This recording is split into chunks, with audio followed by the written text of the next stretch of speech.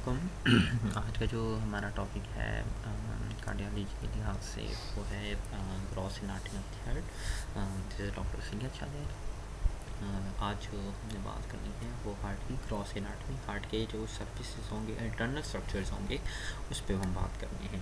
तो आपके लिए और है कि मिस्टेक आपको that you are trying best अच्छा अब ये हार्ट की नाटवी है, ये नॉर्मल हार्ट जो उसकी नॉर्मल जो शेप होती है ओरेटल जो शेप होती है, इस तरह की होती है।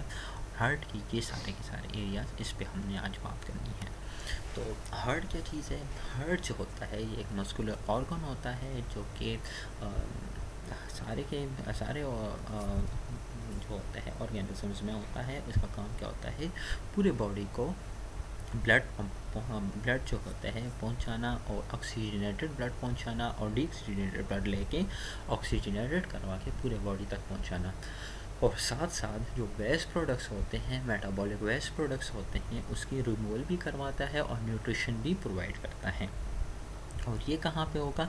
ये जो आ, होता है ये लंग्स के बिल्कुल मिड में होता है इसके बिटवीन में होता है और चेस्ट के मिडल कंपार्टमेंट में ठीक है? मिडल कंपार्टमेंट तोरिक्स के मिड में ये जो हार्ट होता है वो लोकेटेड होता है। अब इसकी लोकेशन क्या है? ये मिडल मिडियास्टेनम में होता है। अगर वर्टिब्रिज के लिहाज से देखें तो ये टी फाइव से टी एट वर्टिब्रिज में होता है। और इसके एक डबल मेम्ब्रेन इसमें होती है जिसको पेरिकार्डियम बोलते हैं। और इसके साथ साथ ये भी होगा कि वर्टिब्रल कॉलम बैक साइड पे जो तोरेसिक वर्टिब्रीज होते हैं टी फाइव से टी एट वो होते हैं। और इसके साथ साथ क्या होंगे कि यहाँ इसके लार्ज ब्लड वेजल्स भी होते हैं, उसमें जो वीना के आते हैं और और एओटा आते हैं। और इसके साथ साथ ये भी होते हैं आजकल टेटरी एरियाज़ भी होते हैं, जो पिछले लेक्चर्स में भी हमने उस पर बात की थी। अब इसके कुछ चैम्बर्स होते हैं।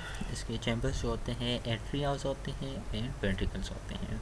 जो एट्रियाज होते हैं, ये अपर पार्ट्स होते हैं, चार चैम्बर्स होते हैं और इसके जो लोअर एरियाज़ होते हैं या लोअर पार्ट्स होते हैं, वो वेंट्रिकल्स होते हैं।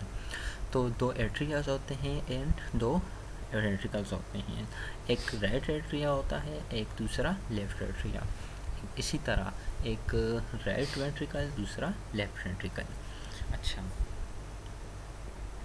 और इसके बीच में एट्रियो वेंट्रिकुलर, इसके बीच में एक सेप्टम्स होते हैं, एक पर्दे टाइप्स होते हैं, जो कि इसको क्या करना होता है, इसने क्या किया होता है, इसने हार्ट को डिवाइड किया तो इसके चैम्बर्स को डिवाइड किया हुआ होता है। हार्ट के कुछ वॉल्स होते हैं, जिनका काम होता है कि हार्ट के या ब्लड के बैक फ्लो को रोकना होता है। तो आइए हम इस पर बात करते हैं कि कौन कौन से वॉल्स होते हैं। तो स्पेशली जो हमारे पास वॉल्स होते हैं आ, उसमें जो होता है फ्रंटल सेक्शन पे हमारे पास कुछ ट्राइकेप्सिड्स वॉल होते हैं जो कि राइट और मेटल वॉल उसमें होते हैं। टोटल हमारे पास चार वॉल होते हैं जो कि हर वॉल ने सबको अलग अलग किया हुआ होता है। तो हमारे पास जो होता है atrio ventricular valve atrio ventricular valves कहाँ पे होगा ये एट्रिया और वेंट्रिकल्स के बीच में होगा। तो इसको क्या बोलते हैं? एट्रियो वेंट्रिकुलर वॉल फिर इसके बाद फिर हमारे पास आता है ट्रैकेप्सिड वॉल ट्रैकेप्सिड वॉल ये थ्री कप्स टाइप्स की शक्ल में होता है और इसने क्या किया होता है कि कॉर्डा टेंडनाई को सपोर्ट किया होता है। कॉर्डा टेंडनाई क्या होता है? ये एक किस्म की टेंडन होती है और पपुलरिस मसल्स ने भी इसको क्या किया होता है? उसने भी इसको सपोर्ट दी हुई होती है।